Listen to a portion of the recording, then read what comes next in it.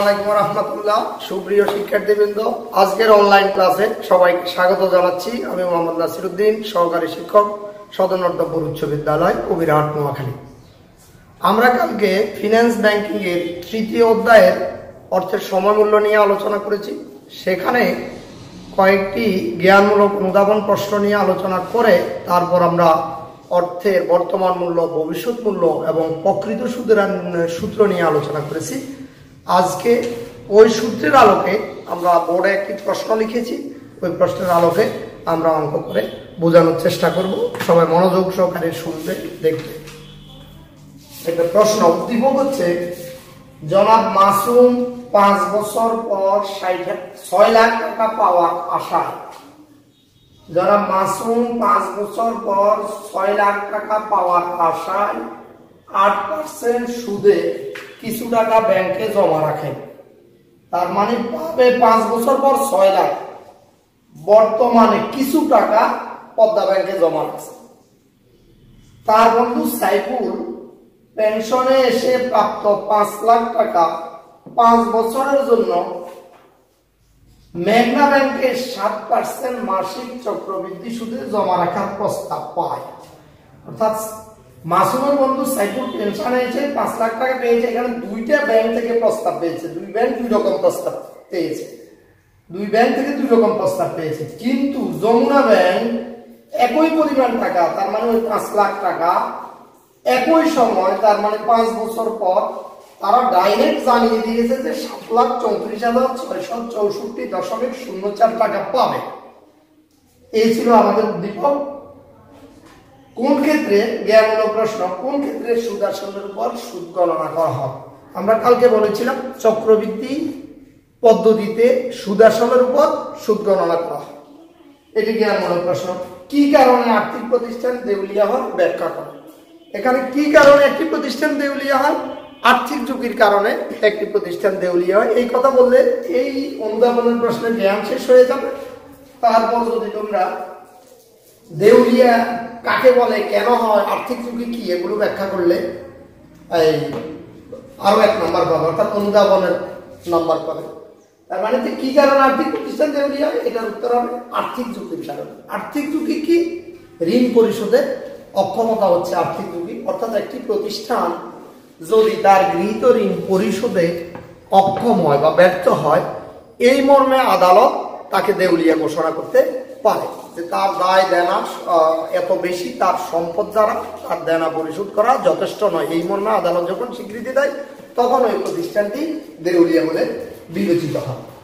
তারপর প্রশ্ন হচ্ছে, জনাব মাসুম পদ্মা ব্যাংকে কত টাকা জমা রাখেন অর্থাৎ উদ্দীপকে বলা হয়েছে, আট পার্সেন্ট সুদে কিছু টাকা ব্যাংকে জমা রাখেন। অর্থাৎ তিনি এই এই ব্যাংকে কত টাকা জমা রাখেন তার মানে এটা এই ছয় লাখ টাকা পাঁচ বছর তার পেতে হলে তাকে বর্তমানে কত টাকা জমা রাখতে হবে? এখন আমরা এই কাজটা করব। হ্যাঁ আমরা এখন জনাব মাসুমকে পদ্মা ব্যাংকে কত টাকা জমা রাখতে হবে তা বের করব। অর্থাৎ জনাব মাসুম বর্তমানে কত টাকা পদ্মা ব্যাংকে জমা রাখতে হবে। বর্তমান মূল্যের সূত্র হচ্ছে FV divided by one plus I into N এখানে এটি হচ্ছে ফিউচার ভ্যালু তার মানে উদ্দীপকে আছে ছয় লাখ টাকা। সুদের হার আট পার্সেন্ট সুদের হারের ক্ষেত্রে সাধারণত শিক্ষার্থীরা ভুল করে। এখানে ভুল করা, ভুল করার দরকার নেই। তোমরা এই যে সুদের হার থাকবে, এটাকে একশো দ্বারা ভাগ করে দেবে, তাহলে ইয়েটা এসে যাবে। শুদ্ধ বিষয়টা এসে যাবে, আর কোনো ভুল হওয়ার সম্ভাবনা নেই।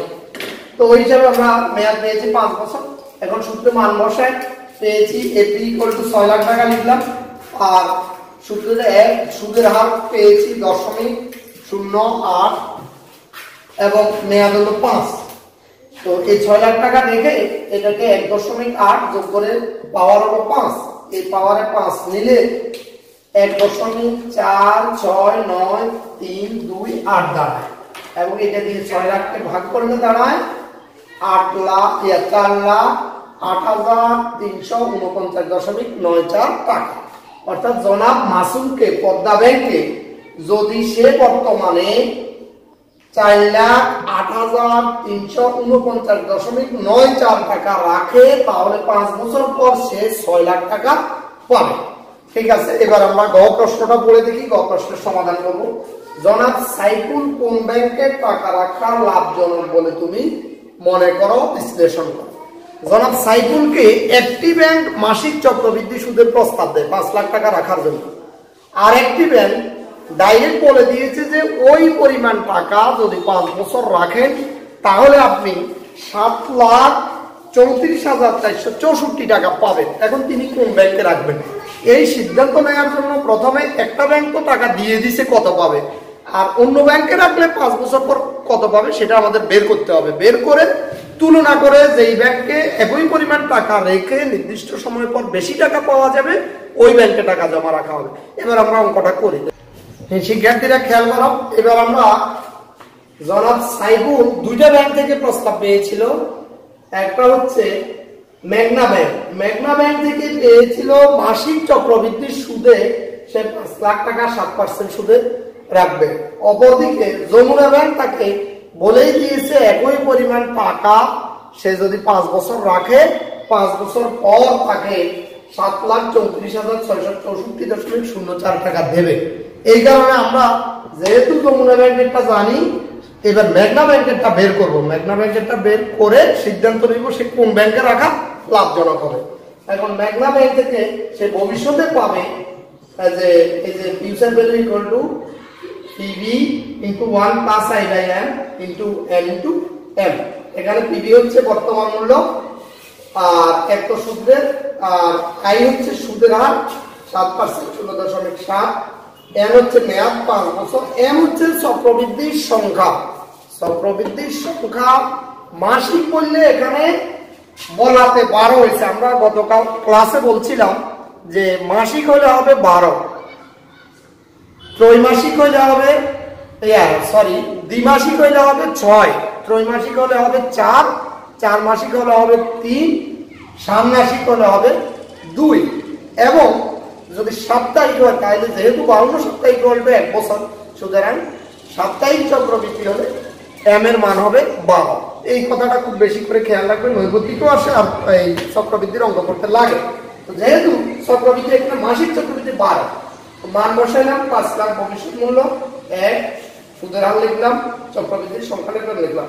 দেখার পরে এই কাজটা একসাথে ক্যালকুলেটর তুমি সাইন্টিফিক ক্যালকুলেটর ব্র্যাকেট দিয়ে এক লিখে যোগ লিখবা, দশমিক শূন্য সাত লিখবে ডিভাইড বারো লিখে ব্র্যাকেট সেট করি ইকুয়াল টু দিবা এই রেজাল্টটা ইচ্ছা করলে ভাঙি ভাঙিও করা যায় যে এক রেখে এই কথাটুকু একবার করবা, করে যোগ লিখে ইয়ে করবা। এইভাবে করলেও নাম্বার কিন্তু কম দিবে না।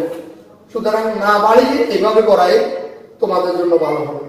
এটা করে তারপরে আমরা এইটা রেখে দিয়ে এটাকে পাওয়ার সাইড দিলাম। সাইড দেওয়ার পরে এক দশমিক চার আট এক সাত পাঁচ নয় সাত আসলো। এবার গুণ করার পরে যে আসছে সাত লাখ আট হাজার সাতশো আটানব্বই দশমিক পাঁচ শূন্য টাকা। তার মানে জনাব সাইপুর জনাব সাইফুল যদি মেঘনা ব্যাংকে মেঘনা ব্যাংকে পাঁচ লাখ টাকা পাঁচ বছরের জন্য রাখে, তাহলে পাঁচ বছর পরে সে মাসিক চক্রবৃদ্ধি সুদে পাঁচ লাখ টাকা থেকে সাত লাখ আট হাজার সাতশো আটানব্বই দশমিক পাঁচ শূন্য টাকা পাবে। এখন সে একজন ব্যবসায়ী হিসেবে বা সে একজন, সরি, বিনিয়োগকারী হিসেবে কোন ব্যাংকে বিনিয়োগ করলে বা কোন ব্যাংকে টাকা জমা রাখলে লাভবান হবে এই সিদ্ধান্ত জানতে চেয়েছে। তো যেহেতু উদ্দীপকে বলা হয়েছে যমুনা ব্যাংকে পাবে সাত লাখ চৌত্রিশ হাজার ছয়শো চৌষট্টি দশমিক শূন্য শূন্য চার টাকা। তাহলে অথচ মেঘনা ব্যাংকে পেল মাত্র সাত লাখ আট হাজার সাতশো আটানব্বই টাকা। জমা রাখবে কিন্তু উভয় ব্যাংকে পাঁচ লাখ টাকা। মেয়াদও উভয় ব্যাংকে পাঁচ বছর। সুতরাং সে যেহেতু এই যমুনা ব্যাংক থেকে সে বেশি পাবে, কত বেশি পাবে? সাত লাখ চৌত্রিশ হাজার ছয়শো চৌষট্টি দশমিক শূন্য চার। আর মেঘনা ব্যাংকেটা বিয়োগ দিলে সে পঁচিশ হাজার টাকা, পঁচিশ হাজার আটশো ছাপ্পান্ন দশমিক পাঁচ চার টাকা বেশি পাবে। একই পরি তাহলে সে আপনি কাটিয়ে দিলেন সুতরাং যমুনা ব্যাংক থেকে সে বেশি পাবে যে যমুনা ব্যাংকে তো পায় সাত লাখ চৌত্রিশ হাজার ছয়শো চৌষট্টি দশমিক শূন্য চার, কিন্তু মেঘনা ব্যাংকে পায় সাত লাখ আট হাজার সাতশো আটানব্বই দশমিক পাঁচ শূন্য, অর্থাৎ বেশি পাবে পঁচিশ হাজার আটশো পঁয়ষট্টি দশমিক পাঁচ চার টাকা বেশি পাবে। টাকা একই, পাঁচ লাখ টাকা। পদ্মা ব্যাংকের, ইয়া, মেঘনা ব্যাংকের একই পাবে, এই টাকাটা যমুনা ব্যাংকে রাখলে রাখবে এই টাকা। তাহলে একই পরিমাণ টাকা যদি সে যমুনা ব্যাংকে রাখে, তাহলে পঁচিশ হাজার আটশো বেশি পাবে। কেন সে লসের দিকে যাবে? তাই আমার মতে বা তুমি শিক্ষার্থী হিসাবে লেখাতে উদ্দীপকের আলোকে এই ভবিষ্যৎ মূল্য নির্ণয় করে, দেখা যায় যে যমুনা ব্যাংকে নির্দিষ্ট পরিমাণ টাকা নির্দিষ্ট সময়ের জন্য রাখলে এত টাকা বেশি পাবে। সুতরাং আমি মনে করি যমুনা ব্যাংকে টাকা রাখা লাভজনক।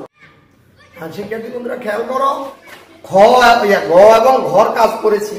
আর একটি কাজ প্রশ্নের নেই, কিন্তু বিষয়টা পরিষ্কার করার জন্য, কারণ এই অধ্যায়ে তিনটা জিনিস। একটা হলো বর্তমান মূল্য একটা হলো ভবিষ্যৎ মূল্য আর একটা হলো প্রকৃত সুদের হার। ধরে নেওয়া উদ্দীপকে যে দশমিক শূন্য সাত পার্সেন্ট মাসিক চক্রবৃদ্ধি সুদের প্রস্তাব দিয়েছে। তো যদি বলা হতো যে এটা প্রকৃত সুদের হার কত, আমরা এই উদ্দীপকের আলের আলোকেই প্রকৃত সুদের হার বের করাটাও শিখে নেব। প্রকৃত সুদের হারের সূত্র খেয়াল করো, প্রকৃত সুদের হারের সূত্র হলো E A R equal to one plus I by M into M minus one তো এখানে আই হচ্ছে সুদের হার। সুদের হার সাত পার্সেন্ট বা শূন্য সাত। আর এম হচ্ছে চক্রবৃদ্ধির সংখ্যা।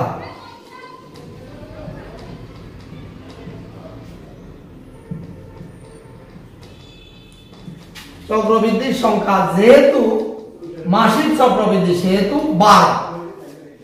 এই চক্রবৃদ্ধির সংখ্যা। তাহলে এবার মান বসাইলে দাঁড়াইলো কি এক। হার লিখলাম দশমিক শূন্য সাত। চক্রবৃদ্ধির সংখ্যা লিখলাম বারো। এটা দ্বারা গুণ করলাম বিয়োগের এখন এই কাজটা একসাথে করে ফেললাম। ব্র্যাকেট দিয়ে, যদি তুমি সাইন্টিফিক ক্যালকুলেটর করো, ব্র্যাকেট দিয়ে এক যোগ দশমিক শূন্য সাত। ভাগ চিহ্ন দিয়ে বারো লিখে ব্র্যাকেট শেষ করে পাওয়ার বারো দিবে। ইয়া, দরকার নেই। এইটা দিলে এই রেজাল্টটা আসবে। আসার পরে মাইনাস ওয়ান তারপরে এই রেজাল্টটারে পাওয়ারে নিলে দাঁড়াবে এইটা মাইনাস ওয়ান মাইনাস ওয়ান দিলে পরে রেজাল্ট এইটা। এখন সুদের হার বলতে পারছেন। তখন এটাকে যেটা আছে, এটা থেকে এটা আসলো মানে একশো দ্বারা গুণ করা হয় গুণ করার পরে এত পার্সেন্ট দাঁড়াবে। এই প্রকৃত সুদের হার এইভাবে নির্ণয় করতে হয়। আরও তোমাদের একটা বিষয় আমি ক্লিয়ার করতে চাই, সেটা হলো, গতে আমরা যেটা বলেছিলাম, গতে ছিল সরল সুদ। গমকে যে পদ্মা ব্যাংকে সে টাকা পাবে, সূত্রটা ছিল PV equal to F V divided by one plus I into N এখন, উদ্দীপকে যদি আমি যুক্ত করি নাই। প্রশ্নে যদি এখানে উদ্দীপকে যদি তোমার এই এখানে চক্রবৃদ্ধির সংখ্যা মনে করো, ত্রৈমাসিক চক্রবৃদ্ধির সংখ্যা দিত, তাহলে কিন্তু এখানে আমি এটার পরিবর্তে সূত্রটা দিতাম F PV equal to F V divided by one plus I by M M into N পূরণ এন তাহলে দাঁড়াইল কি? যদি চক্রবৃদ্ধি বলিত তাইলে পার্থক্য হইতো শুধু সুদের হারকে চক্রবৃদ্ধির সংখ্যা দ্বারা ভাগ করতাম, এই যে ভাগ করছি, আবার বছরের চক্রবৃদ্ধির সংখ্যা দ্বারা গুণ। ত্রৈমাসিক চক্রবৃদ্ধি হলে, আগেই বলছি, ত্রৈমাসিক চক্রবৃদ্ধি হলে চার হবে আর দ্বিমাসিক হলে ছয় হবে। মাসিক হলে বারো হবে। আর তোমার চার মাসিক হলে তিন হবে, ষান্মাসিক হলে দুই হবে, আর যদি সাপ্তাহিক হয় বারো হবে। তখন যত চক্রবৃদ্ধি থাকবে এম এর মান তত লেখে আমরা গুণ করব। তাহলে আমরা এই অধ্যায়ে আশা করি সবকিছু পারার কথা। আর একটা বিষয়, প্রশ্ন পড়ে দেখবে, প্রশ্নে যেমন আজকের প্রশ্নের ভিতরে প্রথমে ছিল যে, জনাব মাসুম পাঁচ বছর পর ছয় লাখ টাকা পাওয়ার আশায়। এই প্রশ্ন আপনারা পড়লেই বোঝা যায়, এখানে বর্তমান মূল্য। বের করতে হয়েছে কারণ কি? বলা আছে জনাব মাসুম পাঁচ বছর পর ছয় লাখ টাকা পাওয়ার আশায় তাহলে পরেরটা তো ভবিষ্যৎ মূল্য। সেটা যেহেতু ছয় লাখ টাকা দেয়া আছে, তাইলে তুমি বুঝে নিতে হবে এটা বর্তমান মূল্য বের করতে দিয়েছে। সুতরাং এই বিষয়গুলো খেয়াল করলে এই এই চ্যাপ্টারের অঙ্ক খুব একটা কঠিন না। তোমরা আশা করি একটা অঙ্ক করে কিন্তু আমরা চ্যাপ্টার শেষ করতে পারব না। আর অনেকগুলো অঙ্ক করানো অনলাইন ক্লাসে সম্ভব না। তো তোমরা এই নিয়মে অনেক অঙ্ক আছে ভোট বইতে এগুলো আস্তে আস্তে করবে। ঠেকলে এই ভিডিওটা দেখবে, ঠেকলে এই ভিডিওটা দেখবে দেখবে, আশা করি অধ্যায় ক্লিয়ার হয়ে যাবে। তোমরা সবাই ভালো থাকো, সুস্থ থাকো। আগামীতে আবার দেখা হবে। ধন্যবাদ সবাই